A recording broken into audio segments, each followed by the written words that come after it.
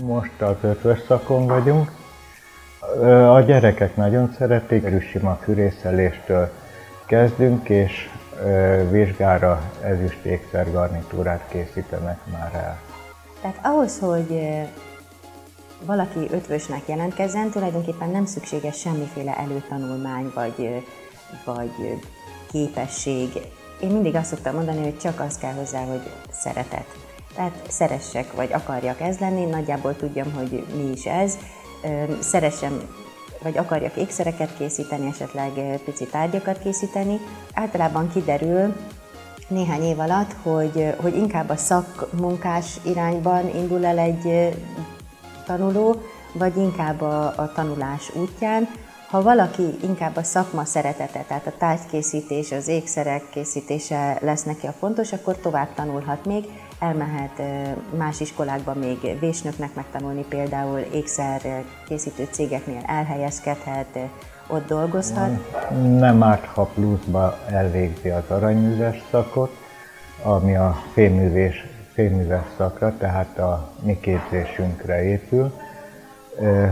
Hogyha ezt is elvégzi, akkor aranyműves ötvösként, ékszerkészítőként tevékenykedhet Következő, ami lehetőség a MOME, az Iparművészeti Egyetem, ahol ötvös szakon tervezők, dizájn tervezőként folytathatja. Ott is van most diákból diákunk. Ékszerüzletben eladó is lehet, ugyanis ahhoz is kell az ötvös végzettség, ötvös vagy becsüs végzettség. Ezen kívül ami a legextrémebb, mély tengeri régész is van a voldiákunk között. Hát ott is a kutatások, tehát a, a, a leleteket, amiket felhoznak, azok konzerválásában bármibe, tehát ott is egy fémes végzettség ami előny. Ez a legextrémebb. Nagyon jó felszerelt műhelyünk van, tehát az alapok a kéziszerszámok. Ugyanis egy ötvös szakma nem csak abból áll, hogy fűrészelünk, reszelünk, forrasztunk és méricskélünk, bár ez a négy alapművelet, hanem a hozzátartozó művészeti hátterét is megtanuljuk. Tehát tervezést, kreatív tervezést, szakmatörténetet, szakismeretet, anyagismeretet, mindent meg mindent el, tudunk, el tud sajátítani itt egy diák az öt év alatt. Tehát a forrasztások alapok, hátam mögött van egy lézerhegesztőgép, ami nem sok iskolában van nálunk megtalálható, hengerek, 3D-s diaszprinter, megtalálható, mindenki ki lehet próbálni és alkalmazni lehet a 21. századot is itt az iskolában.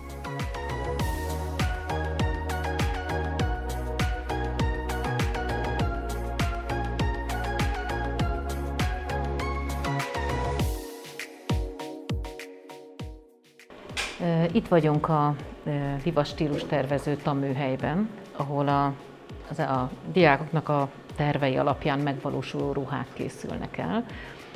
Itt az legelső lépésektől megtanuljuk a varrógép használatát, megtanulunk szerkeszteni, megtanuljuk kiválasztani a megfelelő alapanyagokat, és ezekből megalkotni a ruhákat igyekszünk új technikákat megtanítani a gyerekeknek, kikísérletezni, tehát nem csak a hagyományos technikákat használjuk, hanem hanem egészen újszerűeket is, meg egészen érdekeseket is.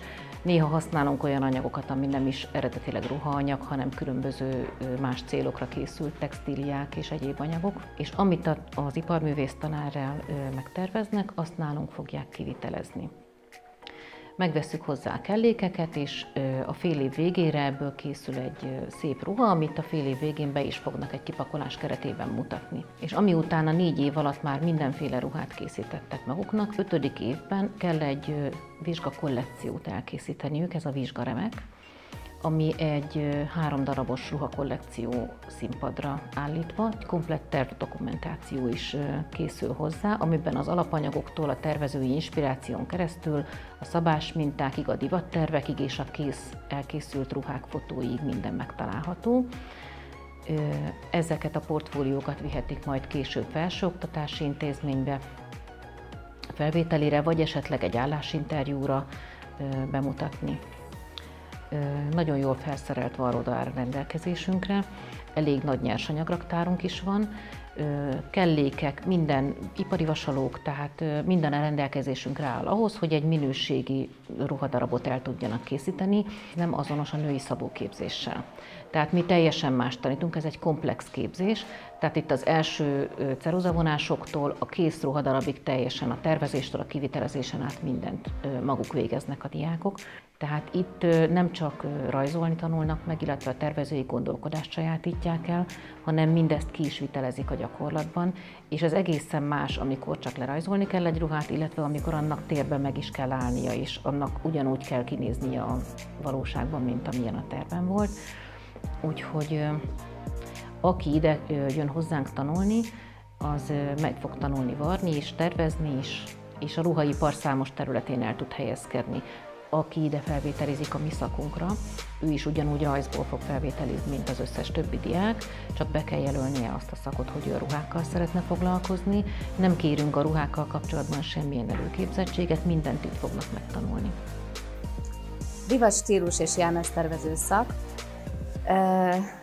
Ezen a szakon megismerkednek a diákok a divattervezés alapjaival, egészen eljutnak a néhány év alatt addig, hogy teljes kollekcióban képesek az általuk megtervezett és mindenféle szerkezeti rajzzal alátámasztott ruhát kivitelezni is. És a kivitelezés végén divat bemutató keretén belül be is mutatják ezt a közönségnek. Jelmeztervezés a másik ága ennek a szaknak. Itt is az első időben a tervezés alapjaival foglalkoznak a diákok, mindamellett, hogy folyamatosan művészettörténeti, rajzi ismereteiket, ismereteiket kibővítik. A tervezés folyamatába beillesztik a viselettörténet művellétét. Ez az ókortól napjainkig történik, foglalkozunk nagyon részletesen a kortás divattörténettel, vagy divattervezőkkel, és nagyon széles palettán megtanulják kivitelezni mindazt, amit megálmodnak. Sokféle technikát beillesztünk a tervezés folyamatába, kollázsolunk, montázsokat készítünk, mindezt digitálisan is megtesszük, tehát nem csak manuálisan.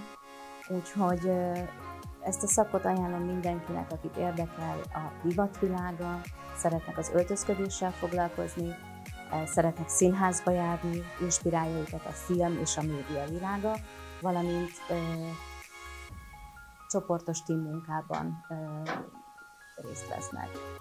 Tehát aki szeret figurálisan gondolkodni, térben gondolkodni, ismeri az anyagokat valamilyen szinten, és, és a fantáziáját inspirálja az, hogy különböző textilekkel, különböző akár idegen anyagokkal hogy lehet bánni és tervezni az emberi testen, mindazoknak ajánlom ezt a szakot. Azok a tehetséges diákok, akik kellő ambíció, ambícióval vannak megáldva, hazai és külföldi egyetemeken e, folytathatják tanulmányaikat ebben az irányban, divat, illetve jelmeztervező szakon, bárhol, illetve hasonló témában elhelyezkedhetnek, mint stylist, vagy díszletjelmeztervező asszisztens. Minden fél évben kapnak divat irányultságú tervezői feladatokat, illetve színházi színdarabok teljes jelmezterveit kell elkészíteniük. Ebből lehetőség van az iskolában kivitelezni egy-egy darabot, és az iskola felszerelt varodájában a diákok tervei alapján, részrajzai alapján kiviteleznek is, vagy kiegészítőt, vagy, vagy egy-egy ruhadarabot.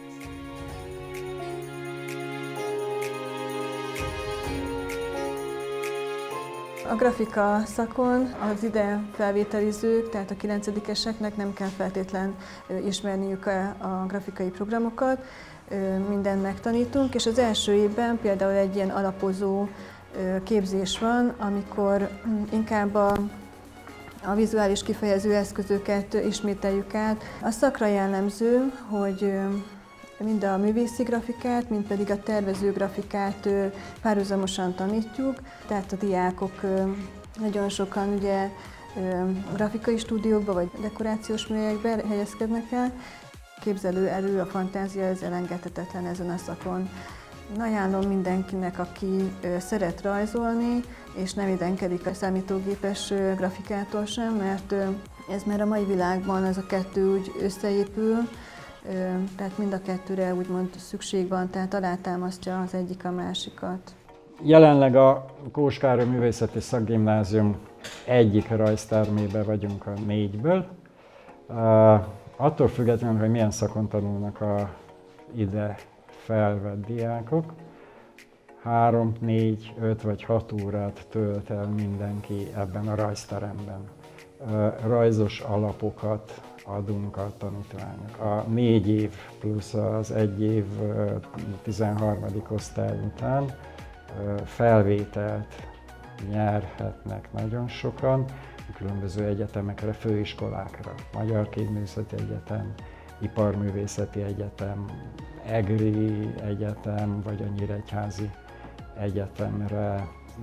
Nagyon felkész, fel tudjuk őket készíteni, tehát nem probléma akár három darab egyetemre és egy-egy mappát elvinni az itt készült feladatokba. Én csak azt tudom mondani, hogy bármilyen szakra jelentkezik egy nyolcadikos, a lényeg az, hogy bent legyen az iskolába. A, az idő fogja eldönteni azt, hogy végül is érettségi, meg a szakmai képzés után milyen irányban fog tanulni. Alapos lesz a felkészülésük, és én azt mondom, hogy bátran vágjanak bele, és jelentkezzenek ebbe az iskolába.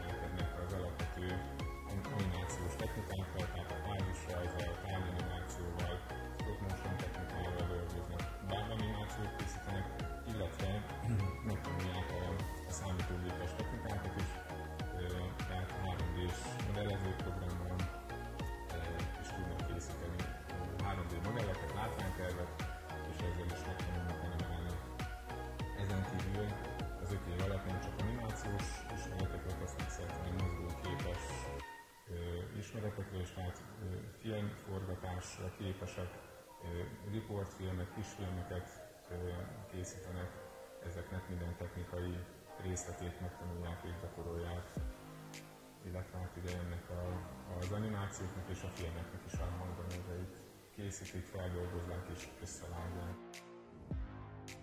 Alapvetően az animációs szakos képzés a a, egy megfelelő rajzkészség szükséges hozzá, kreativitás, és igazából a, itt a, ugye a 3D modellezéshez is inkább ugye jó térlátás kell, hogy el tudja képzelni ezeket a dolgokat, amit aztán majd megtervez, és aztán a végén akár ugye a 3D nyomtató segítségével ki is tudjuk mutatni.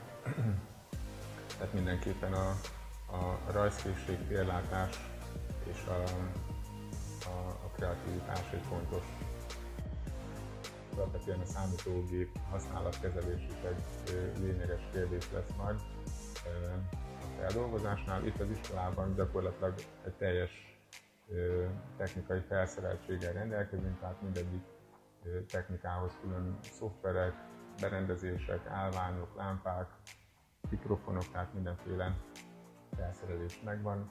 Gyakorlatilag azt lehet mondani, hogy ezek korszerűnek mondhatóak, tehát hogy, hogy a, a, a diákok napra kész ismereteket tudnak szerezni a különböző eszközök, technikáknak a használatával. Az iskola ugye OK és vizsgával zárul, ezzel akár magánvállalkozást tudnak indítani, vagy el tudnak helyezkedni vállalkozásokban. Hát, tulajdonképpen itt az animációnak elég széles a felhasználása, tehát akár reklám iparban, akár ugye film, tehát mozgóképes, akár televízió, stúdióz, akár ilyen környezetben, valamint ugye különböző játékfejlesztő cégeknél, és hát ugye akár a 3D-s irányba is tudnak munkát találni, illetve a felső fokon tovább tudnak tanulni különböző intézményekben, Budapesten mondjuk a, a Moholi Nagyművészeti Egyetemen, ott animáció szakon, illetve média design szakon, eh, ami szakirány, de, de utána bármilyen más eh, szakfelé, és ugye ezzel a művészeti alapképzéssel eh, tudnak jelentkezni, és tovább